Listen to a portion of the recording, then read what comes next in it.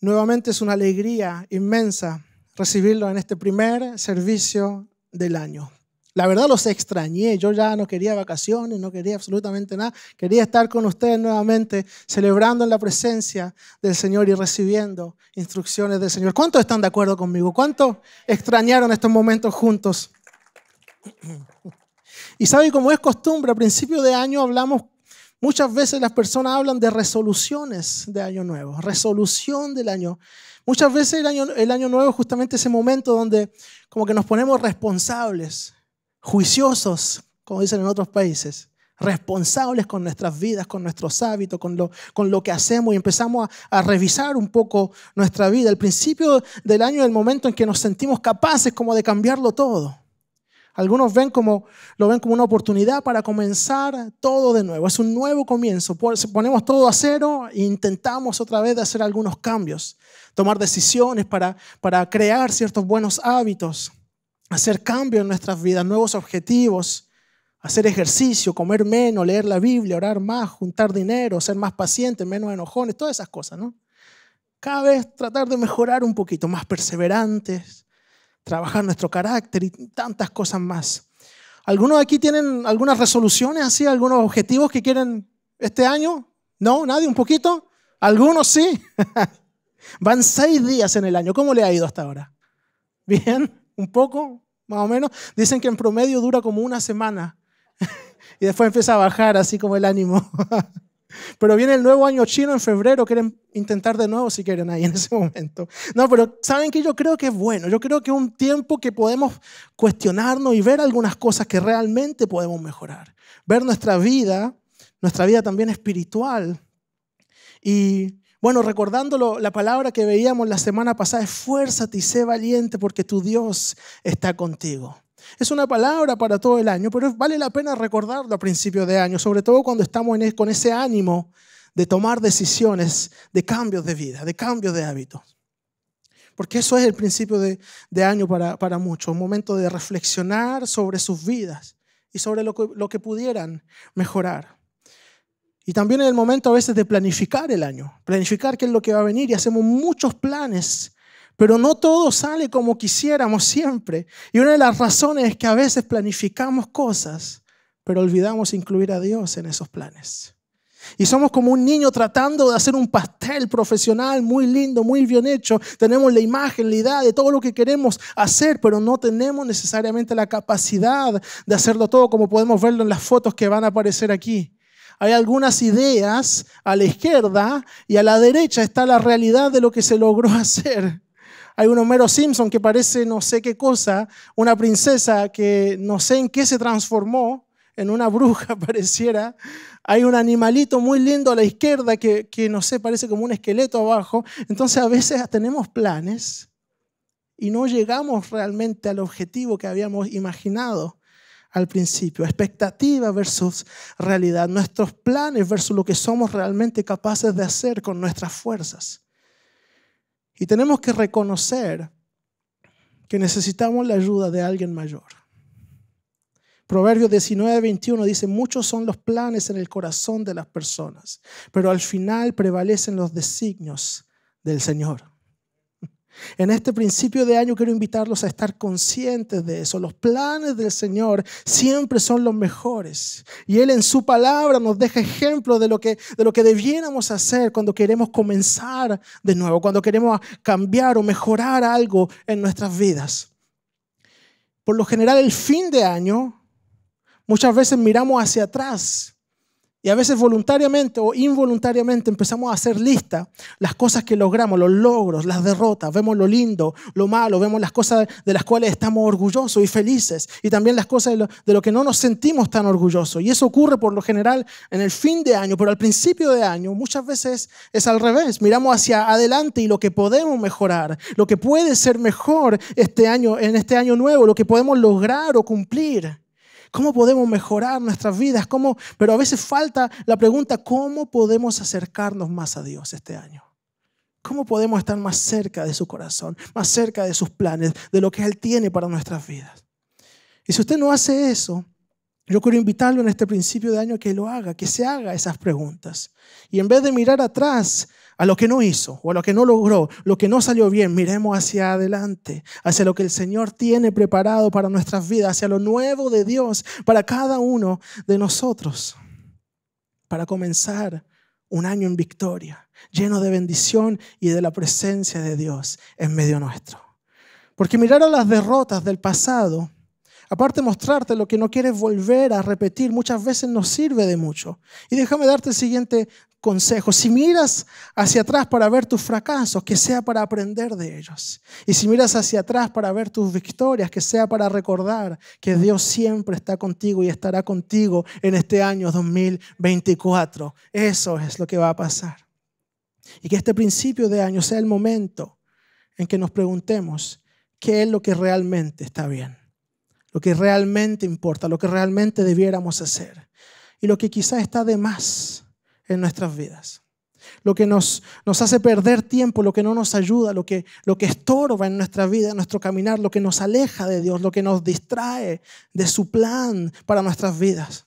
Porque como se los digo a menudo, Dios tiene planes para cada uno de nosotros, llamados para cada vida, planes de paz, de gozo, de vida. Y Dios tiene planes para su iglesia también en el 2024. El Señor nos guió, nos sostuvo, nos fortaleció, nos hizo crecer y nos llenó de gozo y de bendición en el 2023, pero Dios tiene más aún para su iglesia en este 2024. Creo que solo hemos visto un asomo de todo lo que Dios quiere hacer en medio nuestro y si alguien lo cree puede decir un fuerte amén, porque con Dios siempre hay algo nuevo. Y en el mensaje de hoy quiero compartirles cómo prepararnos para entrar en un año bajo la cobertura de Dios. Y esto será usando un texto bíblico que, que habla justamente de un comienzo.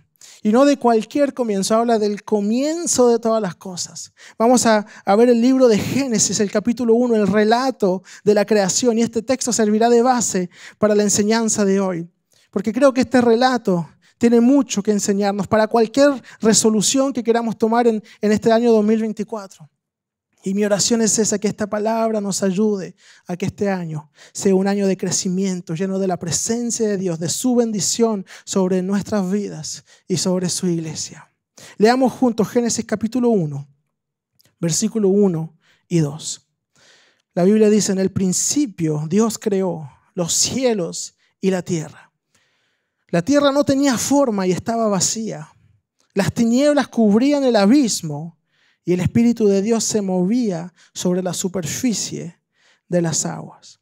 Un texto muy lindo que probablemente hemos leído tantas veces, porque un poco como las resoluciones del año, los planes de lectura son más o menos iguales. Empezamos y a veces como que no los terminamos y empezamos de nuevo. Y leemos, conocemos Génesis de memoria a veces, porque volvemos a empezar los planes a partir de Génesis.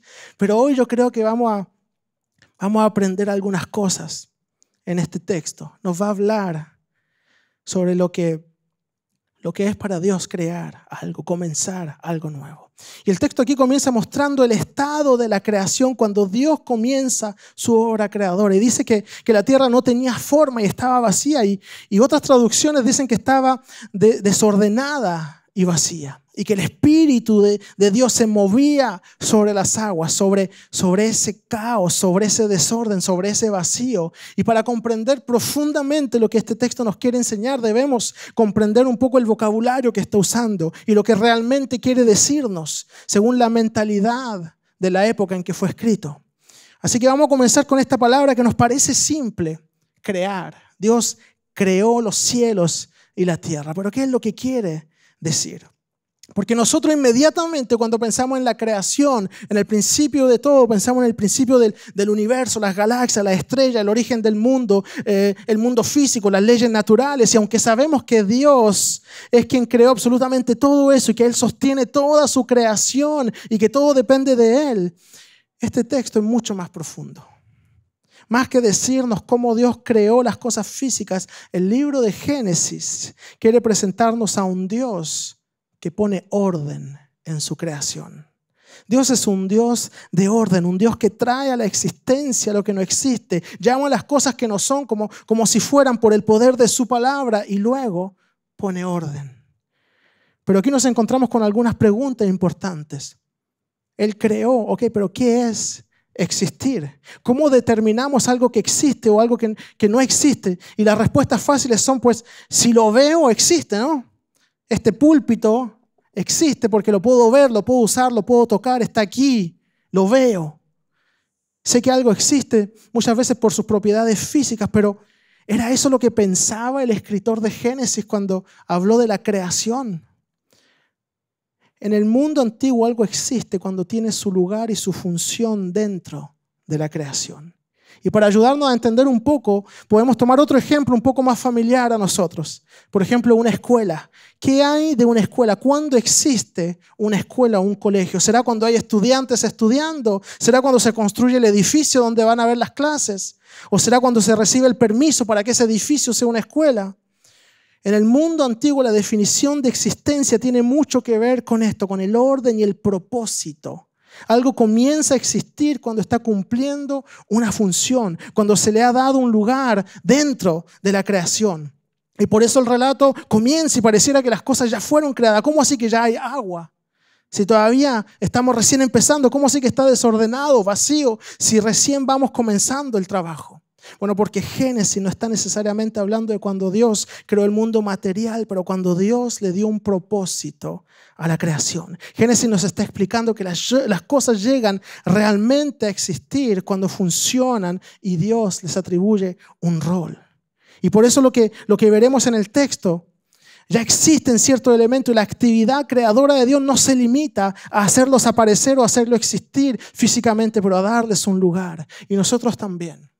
En este 2024 debemos dejar que Dios nos guíe y nos muestre nuestra razón de existir, nuestro lugar. ¿Cuál es nuestro lugar? Y déjame preguntarte esto, ¿cuál es tu propósito? ¿Cuál es tu llamado? ¿Dónde Dios quiere llevarte en este 2024? Todos tienen un llamado de parte de Dios. Y a veces es difícil saberlo, pero la respuesta se encuentra en el orden que Dios puso en tu vida en lo que Él ha puesto en ti, tus dones, tus talentos, lo que tú amas hacer. Y muchas veces el Señor nos sorprende con el camino que Él, en el cual nos guía, que Él nos hace recorrer.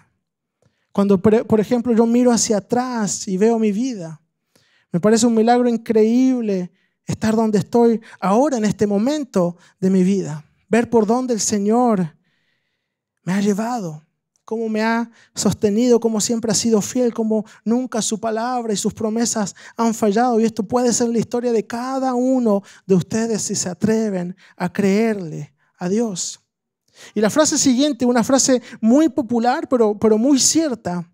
Hay una gran diferencia entre creer en Dios y creerle a Dios. Quiero invitarte en este 2024. Quizás ya crees en Dios, pero hacer un paso más y comenzar a creerle a Dios.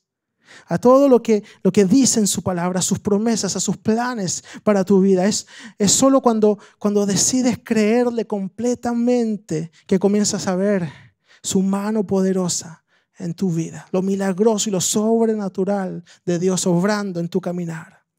Desde muy joven yo supe que, que el Señor me llamaba para algo, para enseñar, para el ministerio, para, para predicar. Y a veces uno trata de huir de, de ciertos llamados.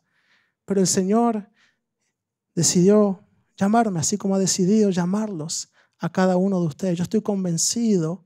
Aquí hay predicadores que están sentados que aún no tienen idea que son predicadores, pero que en los planes del Señor ya están predicando en algún lugar. Porque el Señor ya tiene el panorama de tu vida y ya sabe lo que vas a hacer.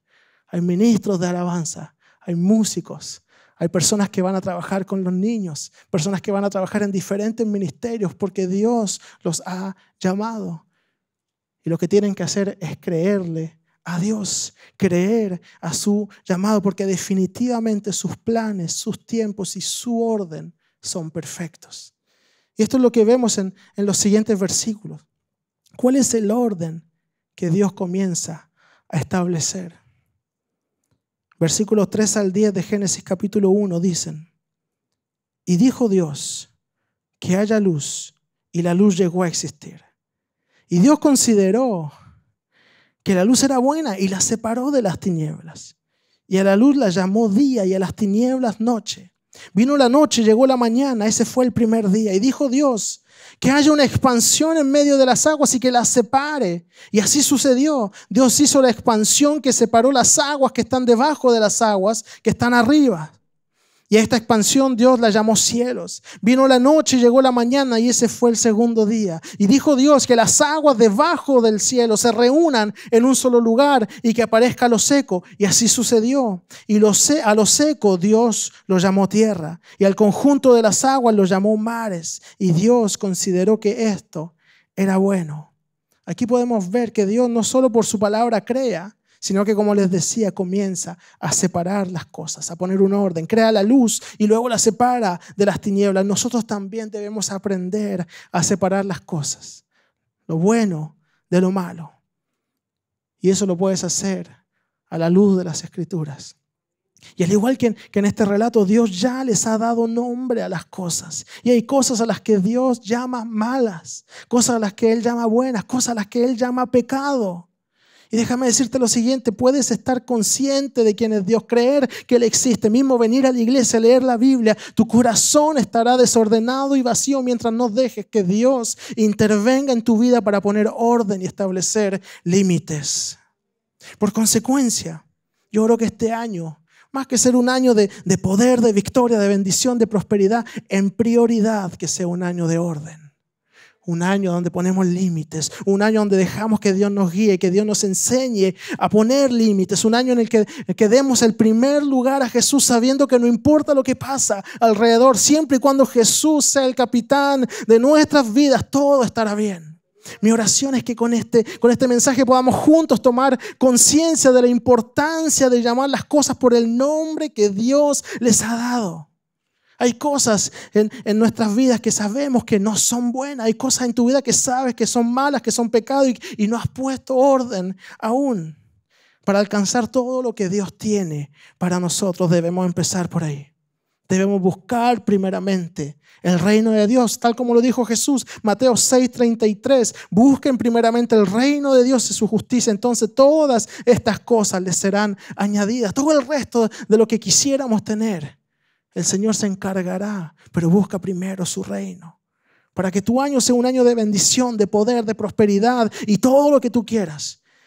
Primero tiene que ser un año donde en tu vida le das el primer lugar a Dios y dejas que su luz brille en ti, iluminando toda suciedad en nuestro corazón, en nuestros pensamientos o comportamientos, en nuestras relaciones, en nuestra familia, en nuestro hogar. Oro que sea un año en el que dejamos que Dios venga y nos limpie de todo lo que estorba. Quiere ver el poder de Dios en, en su vida, en su iglesia, en su familia, en su ministerio, en su trabajo. Primero hay que poner orden. Quiere crecer en su vida familiar, espiritual, laboral, ponga orden. Quiere que Dios derrame su bendición sobre su vida hasta que sobreabunde, ponga orden. Porque no puede pretender que le vaya bien en absolutamente todo si no hay orden.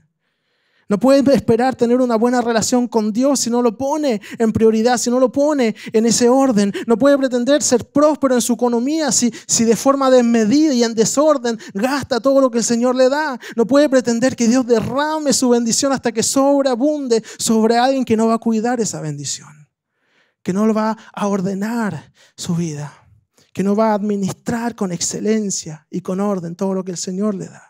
Génesis 1 es un texto que nos parece simple, pero es un majestuoso relato de cómo Dios ordena su creación para que ésta llegue a existir realmente, para que ésta funcione. Así es con tu vida también.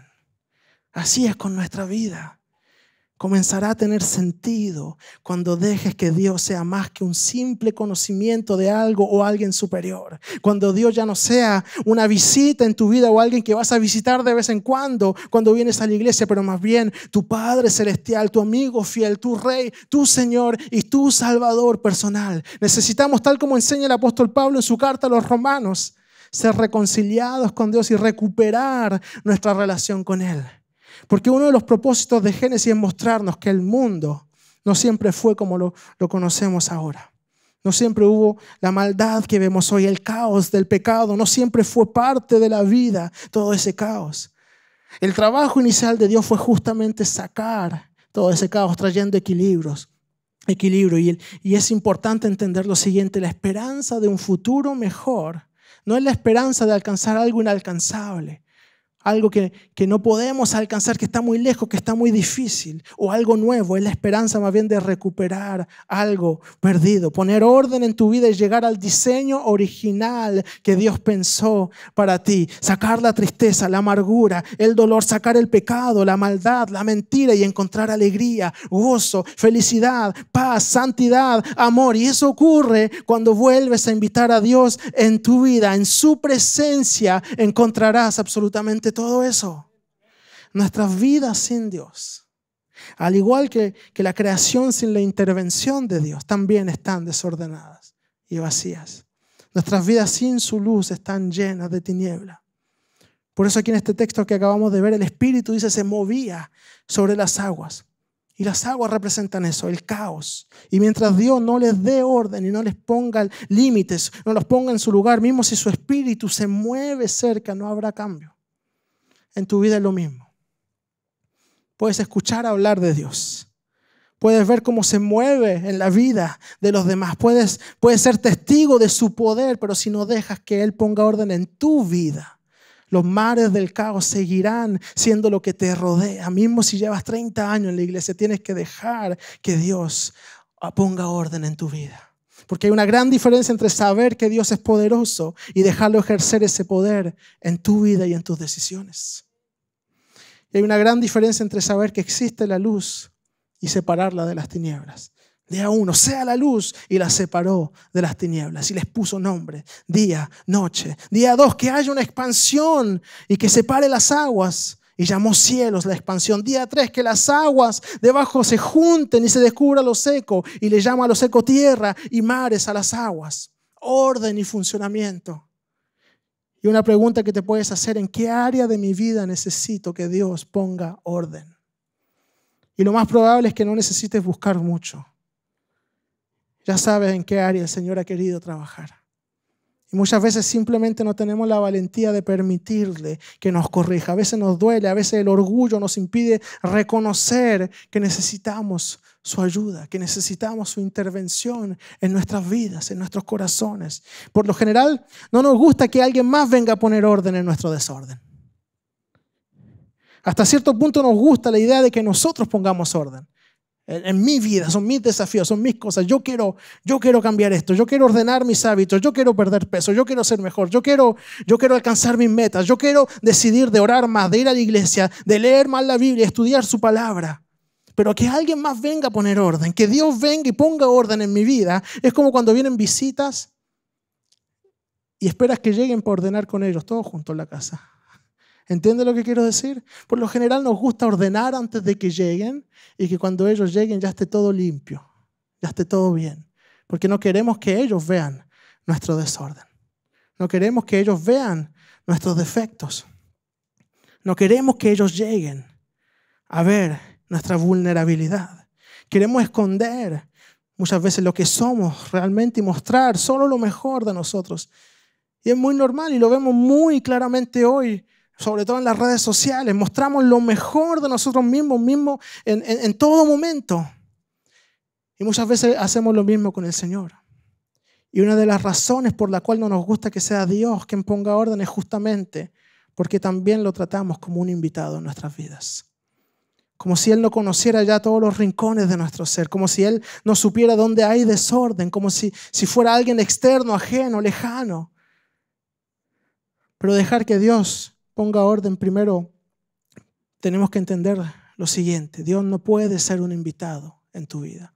Si quieres dejar que ponga orden, no puede ser un invitado, no puede ser un extranjero que ves de vez en cuando, no puede ser como un, como un amuleto que le oras cuando te va mal y lo olvidas cuando te va bien. Nuestro Dios es un Dios personal que quiere estar a diario contigo en todo momento y en todo lugar. Ese es nuestro Dios. Todo este año 2024 Él quiere acompañarte en todos tus desafíos, en todas tus metas, en todo lo que tengas que atravesar, en todos los momentos hermosos y también en los momentos difíciles. Él quiere ser tu fortaleza. Él quiere ser aquel que te guía, aquel que te llena de gozo, de paz, aquel que te sostiene, aquel que te ayuda a tomar toda decisión que tengas que tomar. Si alguien lo cree, puede decir amén, que nuestro Dios sea aquel que nos guía en absolutamente todo momento. Y como les decía, no nos gusta mostrar nuestros defectos, nos gusta que la gente piense que somos perfectos, sin manchas, que somos limpios, que nuestra casa nunca está desordenada, que siempre la escoba se pasa sola, se va, todo se barre solito. En la casa nunca hay polvo, en la casa todo está en su lugar. Pero eso no es así. ¿Cierto? No, no me dejen solo en esto, no soy el único. es cierto, ¿verdad? Y no nos gusta que la gente lo vea. Queremos mostrar siempre lo mejor. Y es lo mismo en el ámbito espiritual. Todos tenemos defectos, nos gusta o no nos guste. Y en el ámbito espiritual todos tenemos defectos, todos, todos hemos pecado y necesitamos que el Señor venga y ponga orden nos ayude a limpiar, porque hay manchas que no salen con ningún jabón ni con cloro, pero solo con la sangre de Cristo Jesús. Solo su sangre puede limpiarnos de todo pecado, santificarnos, de modo que cuando venimos a Él ya no somos los pecadores o las personas sucias que éramos santos, las personas que, que éramos lejanas a Dios, rebeldes a Dios, somos sus hijos amados y somos santos en Él por medio de su sacrificio en la cruz. Y si usted lo cree, puede dar un fuerte aplauso al Señor Jesús por lo que hizo por nosotros en la cruz. Y volviendo a nuestro texto, lo otro que hace Dios es poner límites, pone orden, y ya lo mencioné, algunas veces pone límites. Es necesario que nosotros también pongamos límites en nuestras vidas. Límite al acceso, por ejemplo, a tu corazón, al acceso a tus oídos. ¿Qué tipo de cosas dejas que entren por tus oídos? ¿Qué tipo de cosas escuchas? ¿Y qué tipo de cosas salen de tu boca? ¿Qué tipo de conversaciones tienes? Efesios 4:29 dice, eviten toda conversación obscena, por lo el contrario, que sus palabras contribuyan a la necesaria edificación y sean de bendición para quienes escuchan. Son sus palabras de bendición para los que escuchan. ¿Contribuyen a edificar o contribuyen a destruir? Que nuestro año 2024 sea un año en donde nuestros labios hablan para edificar y para bendecir. Y también en el texto vemos que Dios delimita el lugar donde estarán las aguas para que se descubra lo seco. Y fíjese, no es que el agua sea, sea algo malo necesariamente o que la tierra sea mala. Se trata de que cuando están en su lugar, en el lugar que Dios estableció para ellos, el lugar que les corresponde es cuando realmente empiezan a funcionar. Hay cosas en tu vida que no son necesariamente malas, pero se transforman en cosas malas cuando no están en su lugar. Se transforman en cosas malas cuando están ocupando el lugar de otra cosa en tu vida. Tu trabajo no es algo malo, al contrario, tu trabajo es algo bueno, es bendición de Dios. Hasta que tu trabajo toma el lugar de tu familia. El dinero no es algo malo, también es bendición del Señor. Hasta que el dinero comienza a tomar el mismo lugar de Dios. Todo puede ser algo malo si no, si no está en, el lugar correcto en tu vida para funcionar según el plan de Dios. A eso me refiero cuando digo que hay que poner orden y límites. Pero esto no se detiene ahí. Después de poner orden y límites, Dios continúa su trabajo llenando la creación. Leamos juntos Génesis 1, los versículos 20 y 21. Y dijo Dios, que las aguas se llenen de seres vivientes y que vuelen las aves sobre la tierra a lo largo de la expansión de los cielos. Y creó Dios los grandes animales marinos, todos los seres vivientes que se mueven y llenan las aguas. También creó todas las aves según su especie y Dios consideró que esto era bueno. Y más adelante en los versículos 24 y 25 dice, y dijo Dios que produzca la tierra seres vivientes, animales domésticos, animales salvajes y reptiles según su especie. Y sucedió así. Dios hizo los animales domésticos, los animales salvajes y todos los animales que se arrastran por el suelo según su especie. Y Dios consideró que esto era bueno. Después de poner orden y límites, Dios llenó la creación. Y así mismo es con, con, la iglesia, en tu familia, en tu corazón. Mientras más dejemos que Dios ponga orden y límites, Dios nos llenará cada vez más, nos llevará cada vez más lejos en sus planes, te llenará cada vez más de su amor, de su paz, de, su gozo, de su presencia y de su vida en ti. Y mientras más tengas de su paz, más te darás cuenta que, que mismo las tribulaciones y los momentos difíciles no podrán quitarte esa paz, porque sabrás que estás seguro en sus brazos. Porque deben recordar que el ser lleno del Señor no quiere decir ser inmune a la tribulación o a los problemas. No quiere decir que todo problema desaparecerá, pero lo que quiere decir es que mismo en medio de la tribulación jamás estarás solo. Dios estará contigo y eso es más que suficiente. Y el apóstol Pablo escribe en Filipenses 4, del 6 al 7, no se preocupen por nada. Más bien en toda ocasión, con oración y ruego, presenten sus peticiones a Dios y denle gracias. Y la paz de Dios que sobrepasa todo entendimiento cuidará sus corazones y sus pensamientos en Cristo Jesús. Qué hermosa palabra para nosotros en este 2024. No se trata de ser inmune a toda situación. Se trata de que Él cuidará tu corazón y tus pensamientos en medio de toda situación. Y si Pablo les dice no se preocupen, es porque hay razones por, por qué preocuparse pero tu Dios es más grande y más fuerte que cualquier situación. Se trata de saber que en sus manos estás seguro. Se trata de saber que al poner orden en tu vida serás capaz de, de, poner tu mirada y tu confianza en Él, porque habrá orden en tus pensamientos y así tendrás paz mismo en medio de la tormenta. Que en este año 2024 siempre pueda recordar que toda situación en Él es transformada para nuestro bien. Donde hay tinieblas, su luz resplandece. Donde hay ruinas, tumbas, soledad, muerte, Dios hace nacer vida. Donde hay llanto, lamento, tristeza con Cristo, todo eso se transforma en gozo y en danza porque al poner nuestra mirada en Cristo nos damos cuenta que nada lo supera y nada nos puede separar de su amor. Martín Lutero el teólogo y, una de las principales figuras de la Reforma Protestante, dijo, no podemos evitar que los pájaros vuelen sobre nuestras cabezas, pero sí podemos evitar que hagan su nido en ellas. Déjame decirte lo siguiente, muchas veces no podemos evitar diversas situaciones desagradables en nuestras vidas. No podemos impedir que nos, que nos ocurran pero sí podemos impedir que contaminen nuestros corazones, que nos desenfoquen, que traigan desorden en nuestros pensamientos y que la angustia nos contamine. Podemos impedir que nuestra antigua forma de vivir vuelva a surgir en nosotros si, si nos tomamos de la mano de Dios y decidimos creerle y seguir siendo fieles a Él. Y así como en el relato de la creación se nos muestra un mundo caótico al cual Dios trae orden.